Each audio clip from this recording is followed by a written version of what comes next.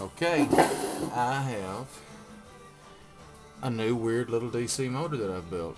This one runs kind of like my Ford coil tattoo machines operate.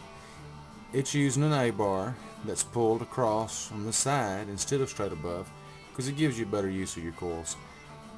And I've developed this little motor that um, uses that and it looks like an antique. It's really cool what I'm going to do with it, I'm going to have this where it operates kind of like a Ferris wheel type deal, and my tattoo machine's right on it. There's going to be a little pulley mounted here and a belt, and it'll go to a gearbox, and there'll be a big Ferris wheel, and the tattoo machines will ride in it. And it'll be cool, you know, if I can get it all together. But this is the first part. It's got a little oil can. You can oil it. And I need to add another oiler here, probably some down here on the lower unions. Um, Got it set at about 4 volts. Let's fire it off. And of course it's not self-starting. These type motors aren't. Let's see if it's going to go. Uh, may. There it goes. Okay. Let it sit here and run and get up to speed. Okay, and there it is at 4 volts. Now I'm going to rotate it around and let you look at all the workings of it.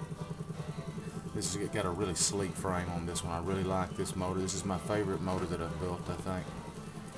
And I'm keeping this one. This one's not for sale. I don't want to get rid of it. This is mine. Like I say, I'm going to use it to run my new tattoo machine display. And this will give you a better view of the um, actual mechanical part. I'll stop it and let you check it out. Alright, we've got a cam built directly on the crankshaft right here. Try a pointer this pencil. Alright, I got little bronze bushings pressed in here. Here's the crankshaft, little 1 8 hardened pins, um, little connecting rod. There's a set of points right here. Whenever this cam gets it just right there, it lets the points contact, turning the coils on, of course pulling the A-bar over to them. And that's how it runs. Oh, come on. There it goes. Um, of course, fine-tuning these points can make a big difference in performance.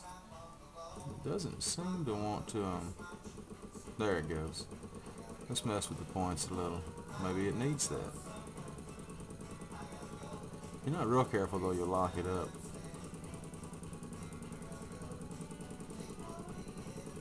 Eh, that's pretty good right there. I'm not going to throw it anymore. But, um, I hope y'all enjoyed. Let me rotate this thing around that you have this top view of it here. Engine number 55. I like this one. And that's about it. Well, I hope y'all enjoyed my newest cool little engine. Thanks for watching.